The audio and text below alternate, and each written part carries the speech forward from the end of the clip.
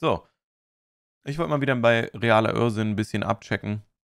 Ich scroll mich mal einfach hier schön ins untere Drittel und gehe mal hier rein. In diesem Hotel in Hamburg finden rastlose Menschen. Da war ich auch schon drin, als Corona war. Und dann haben die an dem Tag, als ich da hingefahren bin, in Hamburg, liegt nicht an dem Hotel, äh, in Hamburg umgestellt. Und dann haben die an dem Tag umgestellt, dass man in Hamburg einfach einen Corona-Test braucht. Und ich bin richtig getriggert gewesen, weil ich musste dann irgendwo auf der Autobahn rausfahren und in Münster war ich dann, glaube ich, Höhe Münster, musste ich dann irgendjemanden suchen, der einen blöden Corona-Test macht. Und es war so irgendwie 18 Uhr. Und dann hat ein Typ noch so ein Zelt gehabt und dann mussten wir da reingehen, damit wir noch einen Corona-Nachweis hatten. Wie weird ist das denn? Wer stellt denn mitten am Tag solche komischen Gesetze um? Das war so wild. Da war da keiner drin und unten stand hier ein Typ an so einer Bier, die haben so eine Erdinger Theke oder sowas. Und der Typ, Alter, der, der war so lost, da meinte ich so, kann ich noch ein Bierchen haben oder so? Nach der Hinfahrt so ein bisschen chillen, meinte der, nö. Und dann einfach die Gläser geputzt, war so richtig komisch da. Wirklich einen Ort der Entspannung. So wie Herr. Ah, Moment mal, das haben wir doch schon gesehen. Das war der Typ, der nicht zurück nach Japan durfte. Ich glaube, ich habe die Geschichte schon mal erzählt. Okay, haben wir schon gesehen. Wir haben so viele schon gesehen, das ist wirklich ein Thema. Das ist wirklich ein Problem. Nordeln. Egal. Ist mir egal. Wir gehen hier rein. Hier im Landratsamt arbeiten die kreativsten Verwaltungsbeamten des Landkreises Vorpommern-Rügen. Finde ich gut. Der Kreissprecher erklärt auch gerne, warum. Wir haben jetzt in, gerade in letzter Zeit einen großen Wurf gemacht. Wir haben uns völlig neu in der Außendarstellung gezeigt. Wir haben eine neue Internetseite, ein neues Logo mit einem Slogan. Na? Der neue Slogan lautet Wir Nordeln. Punkt. Eigensinnig, ehrlich, kreativ. Wir nordeln. Sturmerprobt, wetterfest stolz. Wir nordeln. Natürlich, manchmal wortkack und humorvoll. Wir nordeln. Genial. Mit Videos, Straßenschildern und auf Türen der Verwaltung wird künftig mit dem Nordeln geworben. Das Nordeln in aller Munde. Was ist denn das? Ist ein Nordeln. Wie heißt das Wort? Nordeln. Nordellen. Nordeln? Ich finde, das ist ein cooles Wort. Wie findet ihr das? Ich finde es cool. Norden? Nordeln. Nein, überhaupt nicht. Wir sind aus Westfalen. Das weiß ich gar nicht, was das ist. Da gibt's überhaupt nichts zu lachen, ihr Vorpommern-Rügener. Das hat sich Klingt wie Orgeln, aber der ist ja ganz gut. schließlich nicht der Praktikant ausgedacht, oder? Beim Führungskräfteseminar ist diese Idee geboren. Es ist die Idee geboren, sich zu beschreiben, uns diesen Menschenschlag hier oben zu entschreiben und möglichst daraus einen Slogan zu entwickeln. Und diesen schönen Ey, aber wenigstens mal jemand, der im Amt sitzt und Rede und Antwort steht und kein blöder Brief, oder? Slogan liest man jetzt immer, wenn man Post vom Amt bekommt. Würden Sie sagen, dass, dass das Nordeln Ihren Charakter Warum hat sie sich so erschrocken? beschreibt? Nee. Nein. Ich kann es nicht sagen, weil ich mich damit nicht identifizieren kann. Hört sich so an wie Nörgeln, ne? Wie ein Nörgeln. Der Oh, oh ja, gut, nicht gut. macht ihr ja auch. Aber wie sollen einfache Bürger auch komplexe kreative Prozesse verstehen? Die Verwaltung produziert doch keinen Müll. Dieser Slogan, der dort entstanden ist, ist eigentlich, jetzt sage ich mal ein schlechtes Wort, aber er ist eigentlich ein Abfallprodukt aus diesem Führungskräfteseminar.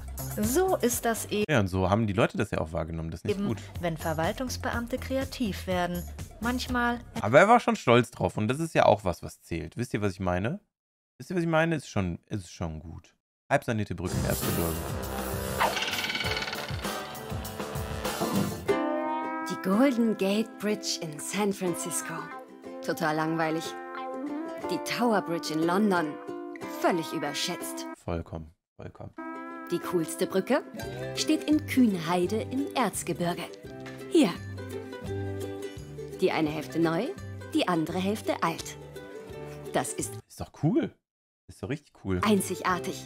Altstadt, Neustadt. Einzigartig schön. Jetzt, nach den abgeschlossenen Bauarbeiten, sind wir hier lang und dachten, es kann nicht sein, dass hier eine halbe Brücke hingestellt wird. Doch, genau das ist ja das Geniale. Hätte man die ganze Brücke saniert, dann wäre diese Sehenswürdigkeit ja nie entstanden. Richtig. Eine europäische Glanzleistung. Denn die sanierte Brückenhälfte steht in Deutschland und die andere in Tschechien. Ach ja. Sieht halt jetzt optisch gesehen so aus, als ob die halbe Brücke ein Stück gemacht ist und die andere Hälfte nicht. Optisch gesehen vollkommen richtig. Die Anwohner sind aus dem Häuschen. Sieht ein bisschen ulkig aus. Ja, aber es ist eine Touristenattraktion. Ne? Tourismus bringt ja auch Geld in die Stadt. Wirklich Ne? nicht schön.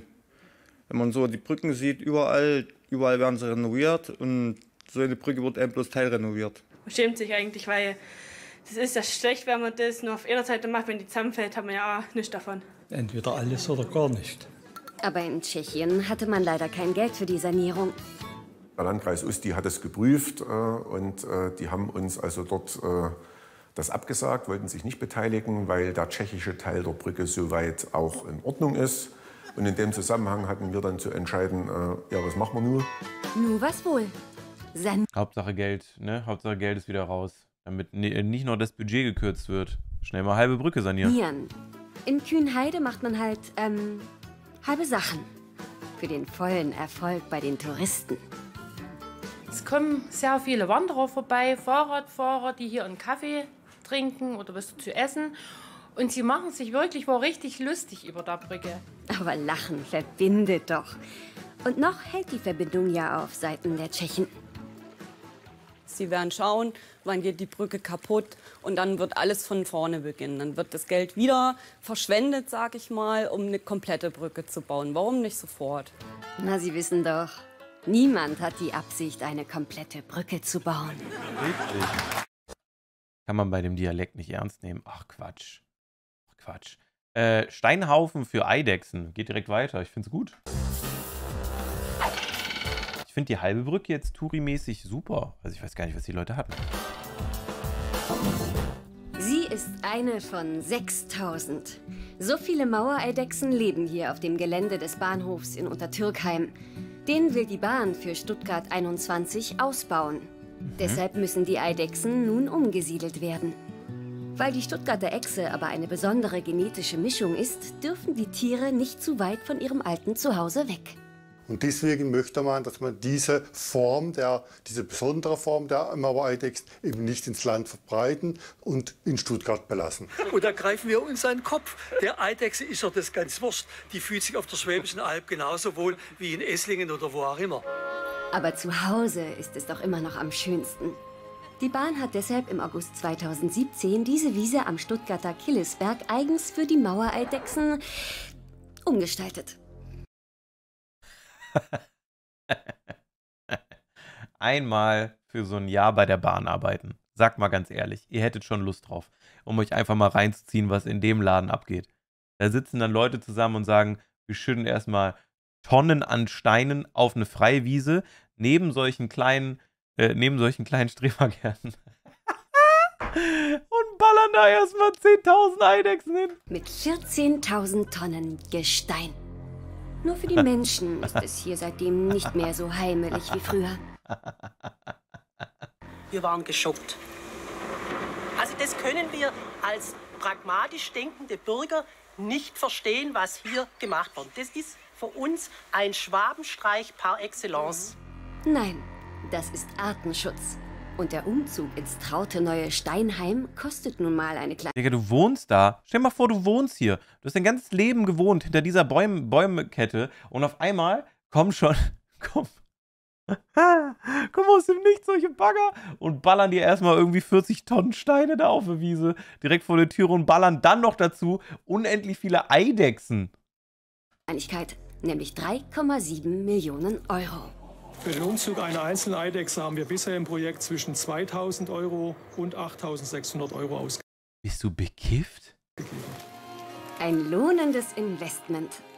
Auch wenn die Eidechsen heute nicht mehr nur hier auf ihrer eigens hergerichteten Fläche leben, sondern zunehmend auch direkt hier, nebenan, in der Siedlung. Ja, willkommen hier im Eidechsenparadies in den Südhanggärten Genau das. Genau das meinte ich. am Killesberg. Also im Sommer sind Hunderte hier. Und die fühlen sich hier zu, äh, zu Hause und wohl. Gelegentlich kommen sie bis in die, bis in die, in die Wohnung rein, ja. Das hasst diese Eidechse. Und ich bin furchtbar erschrocken und die wahrscheinlich auch. Und die ist dann unterm Schrank verschwunden. Die Schlau Ey, als ob, das ist doch so ein Villenviertel, als ob da nicht einer von denen irgendwie einfach die Bahn verklagt. Das kannst du doch nicht einfach machen. blaue Eidechse sucht sich ihre Ausgleichsfläche offenbar lieber selbst und ganz ohne Kosten. Was ihr gut gefällt, da ist sie selbst der beste Experte. Weil diese Gören auf dem Das ist kompletter Wahnsinn. Das ist einfach nur kompletter Wahnsinn. Ja, mit dem Rest machen wir wann anders weiter.